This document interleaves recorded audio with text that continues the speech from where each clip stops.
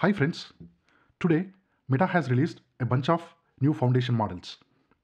For over an year, we have new models open sourced almost every week. So why does it matter?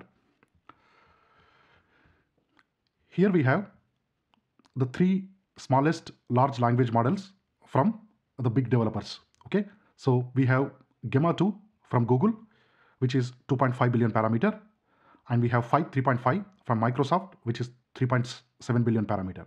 And today Meta released Llama 3.2, which is just 1.25, or let's call it 1 billion parameter model.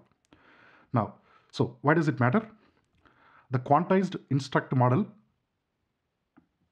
it's just around 580 MB, half of the original model, which is 1.3 gigabytes. Okay, and as it is instruct model, it can be used in AI assistants, agents, etc. to do complex tasks as well. Now that the models are so small, this is important for a number of reasons, uh, which I listed here. Now, these models can be run on edge devices, mobile devices, or even at the browser. Now, for me, the most important reason is most of the subscribers to my channel are students and they don't have uh, paid API keys. So when they run the models on their low config machines, they often hang. So they ask me, how do I learn Gen AI, right? So with these new releases, running these 580 MB uh, models or even these 1.3 uh, gigabyte, they can run very smoothly on even very low config uh, old laptops. So it will enable learning uh, a lot easier. Now, few other reasons. Obviously, the speed is going to be uh, much, much faster and running these models is super economic. So I think uh, Hugging Face and other providers will provide the APIs Uh, almost dead cheap uh, for the Llama 3.2 1 billion uh, parameter models. And finally, the environmental considerations. And recently, it is in the news that GPT-4 consumes three bottles of water to cool down the processors to produce every 100 watts. That's insane, right? Now, these models are just the size of a large machine learn machine learning models. So these are uh, super environmental friendly. All right. Now, and also these models they support uh, multiple languages, obviously including uh, English. Based on the use case, uh, Llama has released uh, four categories of models. Okay, so the first one, the foundation models, then the instruct models, and they also released a bunch of multi models and multimodal models, and finally these Guard models. Okay, let's look at uh, uh, the use cases, right? So the Llama 3.2, 1 billion and 3 billion parameter models, they can be used uh, for a regular uh, uh, LLM tasks. We have been using them uh, for text generation, summarization, so on and so forth. And then the instruct model, they can be used for AI assistants, agents, and agentic RAGs, etc. And now these vision models, uh, those are not image generation models, but these are multimodal models uh, in, in the space of text and uh, image slash document. So these can be used in use cases like visual question answering. For example, we might have an image or a PDF document. We want to ask questions, the visual reasoning, and then document visual question answering, image captioning, image text retrieval, uh, visual grounding, uh, uh, making sure that the text and the image are representing the same, etc. And finally, uh, Llama Meta has been uh, emphasizing on responsible AI development. So uh, they often release uh, these uh, Llama Guard models, uh, which is to guardrail the LLM applications slash LLM systems. Okay. All right. let's just look at the performance. So here we have Gemma 2, which is let's say 2 billion parameter and Phi 3.5, which is 3.7 billion parameter. Now, the 1 billion parameter, uh, not in all metrics, but in some metrics, it even beating the 2 billion and 3.7 billion, the current state of the art small language models. So this model, it just, it's not only small, but its performance is also quite impressive. Okay. Um, now let's see how to run those models. Uh, the easiest way to run these models, uh, I mean, uh, uh using Ollama, Hugging Face, or Llama CPP, etc. So let's see how we can run these models using Ollama, right? So install Ollama and then simply run Ollama run Llama 3.2 1 billion. So for the first time, the model gets downloaded. Since I already downloaded, uh, it will directly show, show me the prompt. Uh, okay. And let's see how we can run these models uh, using Hugging Face. Okay, here I'm my Colab environment. Now on your Hugging Face account, as these are gated models, uh, you have to log in and uh, request for access. It gets approved uh, within minutes.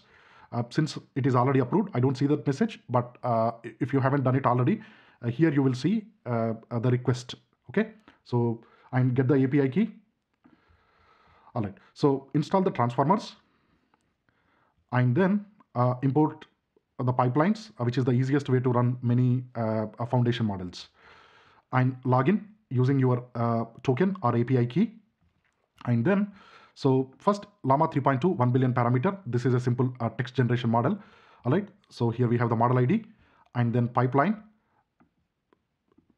As it says, the task is text generation. Simply provide the model ID and then uh, invoke the pipe. Okay. So this will complete uh, the text. So the key to life is, and then uh, it has completed uh, this text. Okay. All right. Then the instruct model, these are uh, fine-tuned models. So basically we take uh, these foundation models, we fine-tune them so that they can understand uh, the user uh, instructions. That's why they are called instruct fine-tuned models.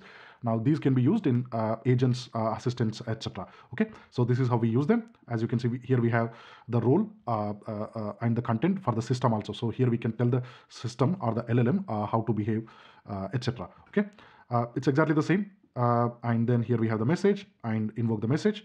The max output token is 256 and we are simply asking who are you? And here is the response from the model. So this is the assistant content. Yeah looking for me. All right then mate. Uh, quite uh, unusual language. I be captain blackbeak the most feared infamous pirate so and so forth so and so forth. I guess this language is from pirates of the bay uh, pirates of the caribbean movie maybe i don't know all right so the llama Guard model it's a classification model. Uh, so we know LLMs are prone to injection, jailbreaking, etc. Right, and they also hallucinate and they can provide malicious uh, content, uh, uh etc. So we want to make sure uh, there are we employ proper guardrails uh, in LLM applications. So what do we do is before sending the user prompt to the actual LLM, we use these guardrails models to detect if the content is safe. Okay, only if the content is safe, we actually send the user prompt uh, to the LLM. And once the LLM generate the output, then also we use these guardrails to check if the generated content is safe or if it is biased, etc. And only if it is safe, then we uh, uh, we show that content to the user. Okay. So the Guard three one uh, one billion parameter model, and then uh, for this one, uh, so here we have the model and then the tokenizer and here we have a very simple uh, user content. Uh, what is the recipe for mayonnaise? Uh, this is a safe content, so it should uh, pass. Okay. All right. So just invoke. Uh, this is a standard uh, Hugging Face way of tokenizing the text first and then inputting or invoking the model with those tokens. And here is the generated output. the output is safe. So if you look here,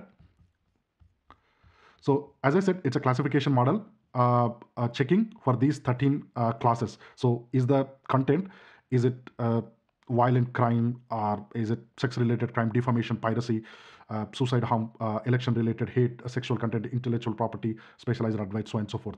Right now, here we are printing the final output, but we can get granular output, the probabilities for different of those classes also. Now here I have a malicious content asking uh, how do I rob a bank. Now as you can see the output uh, is unsafe. Okay. And finally uh, the vision model. Now the free Colab version it has a memory of only some 12 gig and 5 gig is already in use. Now this model being 11 billion parameter one, uh, this memory won't be enough. So I won't be running uh, running this. But uh, from here, as you can see, to this model, we can input an image and then we can do a visual question answering document question answering things like that right? So here we are asking hey write a poem this japanese type a poem uh, based on uh, uh, this uh, image okay? So i did not uh, run this. And finally so in addition to these llms llama is doing a lot of work in developing these tools and frameworks to provide the complete stack.